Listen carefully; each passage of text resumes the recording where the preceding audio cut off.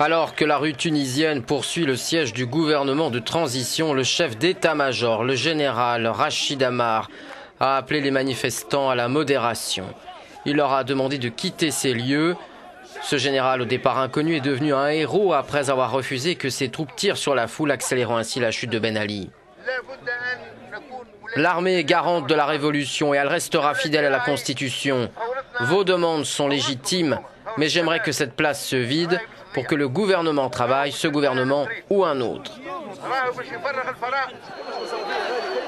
Ces appels sont restés lettres mortes. Des centaines de manifestants bravaient lundi soir le couvre-feu pour une seconde nuit d'affilée. Les caricatures de l'ex-régime de Ben Ali et du Premier ministre Mohamed Ghanouchi, toujours en poste et ouvertement contestés par la foule, font toujours florès dans les rues de Tunis. Parallèlement, on a appris qu'un remaniement était imminent.